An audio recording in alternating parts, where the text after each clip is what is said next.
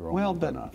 out of 110 over, in with, with a third of the, the legislature turning over every, uh, every two years. Okay. I mean, I, I don't think we should all be penalized for that. How much did their demeanor in the, in the House play into this? Not necessarily right then, but throughout the time that they'd been there. I mean, they certainly haven't made a whole lot of friends. Well, they were very, uh, they were a very different crew when they, right out of day one. Uh, I mean, literally the, the day we got sworn in, I mean, there, the controversy over the seating assignment. seating, yeah. And then the controversy over Courser's uh, furniture. He, he took it all apart and threw it out in the hallway. Um, and then The um, contract for liberty. the contract for Liberty, and then Liberty Gamrat. responds to the sec- state of the state. Yeah, the Liberty, yeah, The I forgot about that rule? one. The Hastert rule, uh, the abortion bills that not even Right to Life even wanted. Uh, they didn't even see it. They, they, they didn't even approve of it. Um, and then, of course, Cindy's uh, uh, Facebook posts in the middle of a, uh, uh, a closed caucus, a budget, uh, budget thing. Were they guilty of not going along to get along? They came in with a, a A chip on their shoulder. Uh, well, you know what? They came in with an agenda that that I think in their in their mind they were not they were neither Republican nor Democrat.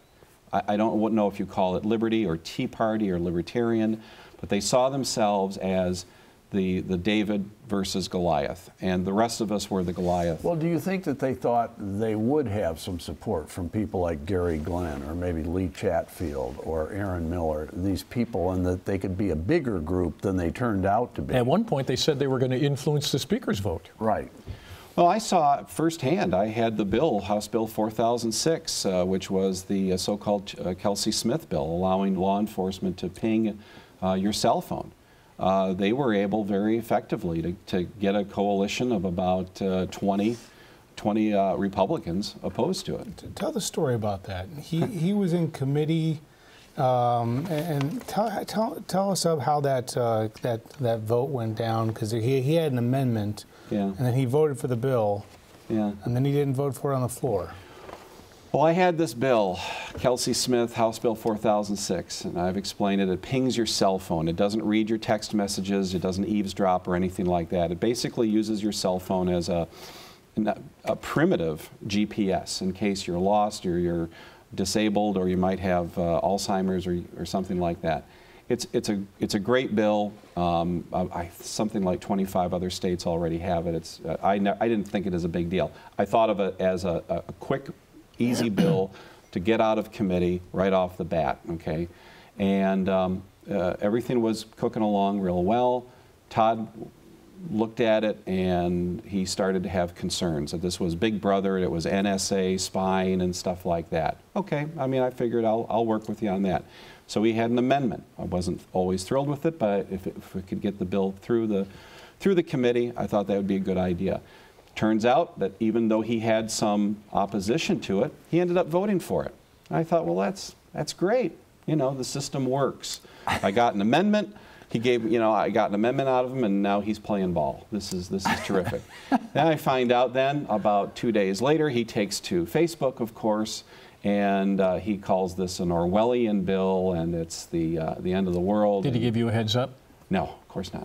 and uh, so I, I you, you were on an elevator after the vote, and Yeah. apparently said something in front of Zach Gorchow that Yeah. uh, you're getting him on the board. See, yeah, I think it's working. You know, he's, he's playing along, and um, so then I got I got whacked on Facebook, of course, by on, on this whole thing, and I was an evil monster, and we were going to wiretap everybody, and um, you know, I I was I was uh, disappointed, but I wasn't out to you know get even or anything like that. I just thought it was a freshman mistake. It was actually probably the first vote uh, on a on a bill that he had ever cast. So I thought, yeah, okay, look, maybe he maybe he just goofed up.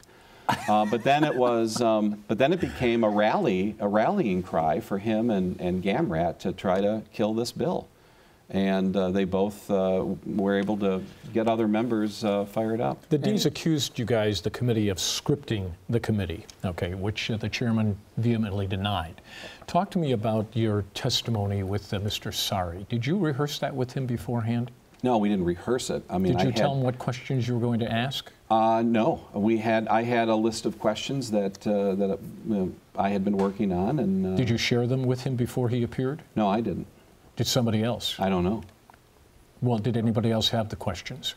Uh, yeah, I mean, I didn't do them independently, but I, they were questions that I had worked on with With uh, House Counsel? with other folks.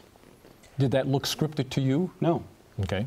I mean, it was designed. I, I, I wanted to ask him questions that that help that would help dispel the um, you know these ancillary issues that were out floating around there. The, the fact remains that that Norm did not have was not did not have a lo- firsthand knowledge of a lot of this stuff, and he was not present with these with the staffers, and he wasn't present with with uh, Gamrat and Courser. So if there was nothing there, why not allow the Democrats to also have questions of him? they did have questions. I mean, Well, they, were There they were a were couple that they wanted to ask that they couldn't. they were narrowly uh, they were narrowly focused and um, properly objected to. Do you think that without, Why, what's it- why are you smiling? Because he's the one who objected. I, I was there. do you think that without these two in the House, that we might get a roads package done? Wow. Um, uh, I, I think that you still have a lot of that philosophical concern among uh, among some of our members that uh, that they've they've taken pledges not to raise taxes or they're they're not at that point yet where where, ta- where raising taxes is a is a last resort. Um, remember that you know Gamrat had not been in our caucus since I don't know when April. Uh, April, and then of- and Courser was never in our caucus after Since that. yeah. So so really they were not a factor in terms of uh, rallying the troops one way or the other. Um, and, and I suspect that when the governor calls a special election, their replacements, I'm, I'm confident, are both going to be Republicans, and they may end up being, the new people may end up being just as uh, conservative. Let's put a ribbon on this. What did you learn from all this? Uh, the, the age old story of political science it's not the scandal, it's the cover up. Thank you, Representative. Thanks. Good to see you.